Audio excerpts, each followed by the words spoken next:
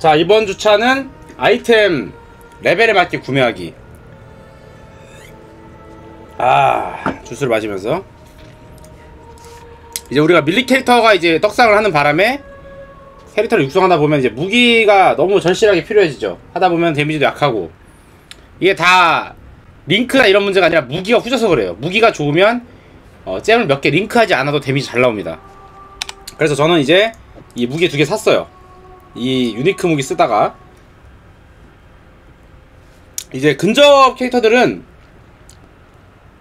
주기적으로 한 20레벨마다 아이템을 바꿔주다가 나중에 한 80레벨, 90레벨 되면 종결급 end 무기를 맞추게 되는데 speller들은 생각보다 그럴 필요가 없어요. 그러니까 근접 캐릭터들은 바꿔줘야만 어, 데미지가 나온다는 거죠. 이럴 때 이제 그 아이템을 구매하기 되게 까다로우실 수 있는데 어 그냥 간단하게 내가 어떤 무기를 쓸 수 있도록 노드를 찍어 놨는지 그 다음에 내 레, 현재 레벨은 얼마인지 어떤 타입의 무기를 써야 하는지 이런 것들을 종합을 해서 검색할 수 있는 방법을 알아야 됩니다. 저로 예를 들면은 저는 이제 노드에서 도끼를 찍었어요. 도끼. 도끼 사용 시 막 물리 피해가 증가하고 막 그러죠? 그래서 저는 어 물리 물리 근접 캐릭인데 한 손 도끼를 써야 돼요. 레벨은 48입니다. 이런 식으로 검색을 해주시면 됩니다. 예를 들어서 한 손 도끼. 그 다음에 여기 요구 레벨. 최대 48 이해, 이해되시죠? 최대 아, 많이 아주 요구해봤자 48밖에 요구하지 않는 그런 무기를 내가 사야 어, 착용할 수 있다. 예, 최대 레벨은 48까지만 봅니다. 레벨이 낮아도 데미지가 셀 수도 있어요. 그래서 1부터 48까지. 다음에 여기가 제일 중요한데 여기가. 우리가 봐야 될 거는 이 아래 이 두 개입니다 이 두개그 초당 피해는 초당 피해는 DPS죠? damage per second. 내 초당 데미지를 얼마나 입히느냐. 근데 이게 바, 반반 나눠져요. 물리 DPS가 있고 원소 DPS가 있습니다. 이 개념을 조금 잘 이해하셔야 돼요. 초당 DPS 안에 물리 DPS하고 원소 DPS 나눠지는 거예요. 원소 DPS는 뭐냐? 화염이나 냉기나 번개. 이런 걸로 내가 초당 데미지 얼마 입히냐? 이런 뜻이고 원소 데미지 DPS고 물리 DPS는 순수 물리 예, physical damage만 측정한 기, 어, 계산값이에요. 그래서 물리 근접 캐릭터들은 이걸 봐야 되는 거고 원소 근접 캐릭터들은 이 원소 DPS를 봐야 됩니다. 이게 제일 중요해요. 원소 DPS 템 막 뭐 번개 데미지 추가 뭐 화염 데미지 증가 이런 거 사놓고서 아 데미지 안 나와요 까마니 이러면 안 된다는 거죠. 내가 물리 계열의 데미지를 올려주는 물리 노드를 찍었으면 물리 DPS를 봐야 되는 게 정상인 거야. 아. 그래서 물리 DPS를 봐야 되는데 내가 대충 얼마가 센지 몰라. 솔직히 감이 안 오실 수도 있어요. 그러면 어떻게 하면 일단 이 상태에서 검색을 합니다. 네, 딱 검색을 하고 여기서 보면은 아이템 아래 보면 DPS가 나오고 물리 DPS가 보입니다. 우리는 뭘 봐야 된다? 물리 DPS 이걸 누르면 물리의 DPS 순서대로 정렬이 됩니다. 제일 센 게 초당 269 데미지 리피는 이 마음의 노래 팔목 절단기. 하지만 70카 너무 비싸죠? 다음 거 241dps의 으스스한 포효 가르기온 splitter. 이게 15카오스.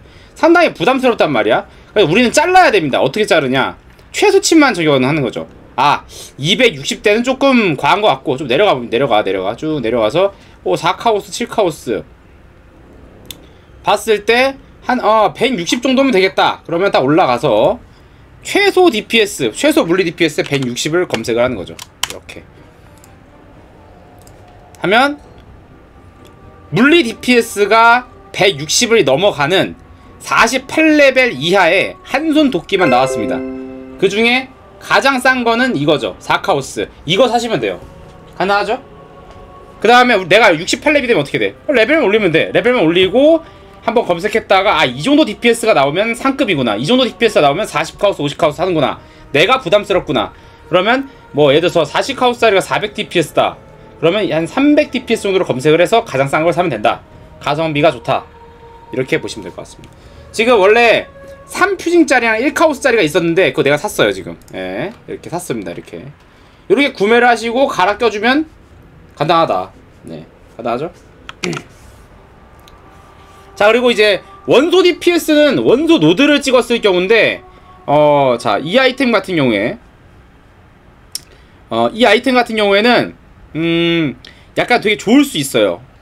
예, 왜냐면 물리 DPS도 떨어지지는 않는데 원소 DPS도 같이 곁들여져 있기 때문에 디, 총 DPS가 330이 나옵니다. 예. 요게 또 좋은 점이죠.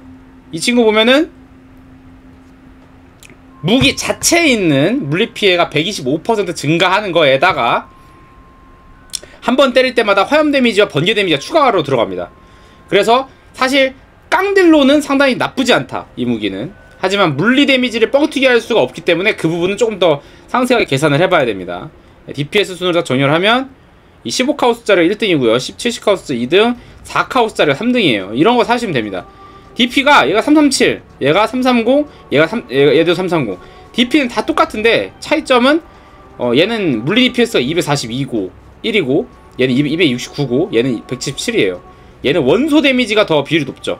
그러니까 물리 캐릭터가 이걸 꼈을 때는 위에 거보다 좀 떨어질 수 있다. 그러니까 이렇게 또 생각하시면 되겠고요. 아무튼 저 DPS 순 정렬하는 게 중요하다.